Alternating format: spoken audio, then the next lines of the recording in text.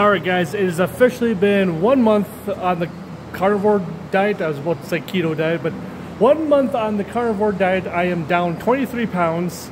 Not too bad, not too bad. And I've noticed some just like nice improvements. Uh, I was doing some video editing over on my gaming channel, and I've noticed that my face seems to be way less puffier, like cheeks aren't quite as large. So I feel like I lost a lot of weight in my face which is good to be for on camera when I'm uh, doing my streaming. So I'm pretty happy with that. And um, in the long run, I thought maybe on the carnivore diet I would have been down maybe like 30 pounds in 30 days.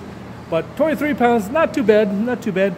Um, I still work out uh, three days a week, and I'm trying to aim for going for a fourth day of the week, trying to do some uh, running activities. I got some uh, army buddies going to be uh, helping me out with some cadence runs and whatnot. So yeah, I'm, I'm a little a little scared to get get back in the swing of that. yeah, I'll do do push-ups and everything else, but I don't know. So far, carnivore diet. Once I added in a little bit of extra variety of like cheeses and like ham and some pork, I started enjoying um, the carnivore diet more than just strictly eggs steak and uh, burgers. Uh, yeah, so far like a good secret weapon I find is Sam's Club.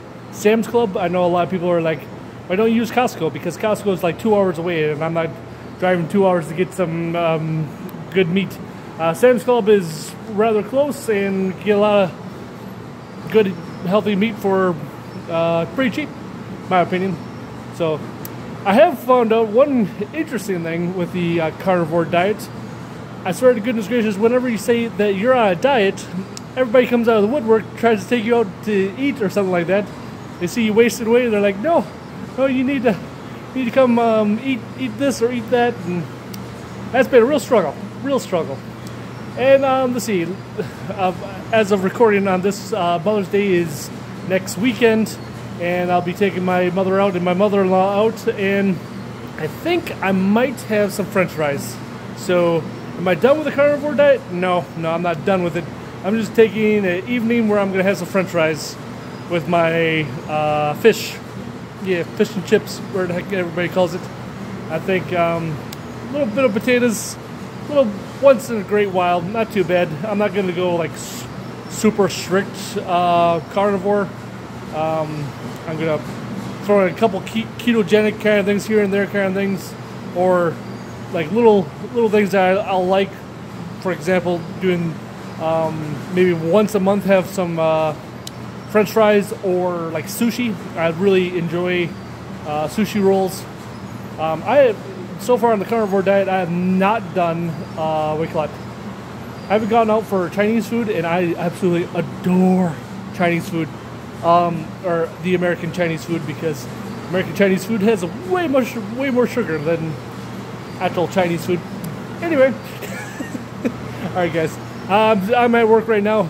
We're trying to get done with seed cutting here, and uh, we'll be out planting in the fields. Guys, we are so close to the 500 sub mark that we need over on my gaming channel, Big Modo Gaming. If you haven't yet, check that out over on uh, YouTube and I think I need like 12 more subs and then we'll finally hit uh, what do you call it? YouTube partner. Uh, big big milestone on my my aspect. So that's what we're, we're, we're gaming and grooving. And guys I think we're gonna be doing some Call of Duty action over on uh, Big Modo Gaming and some World of Warcraft action.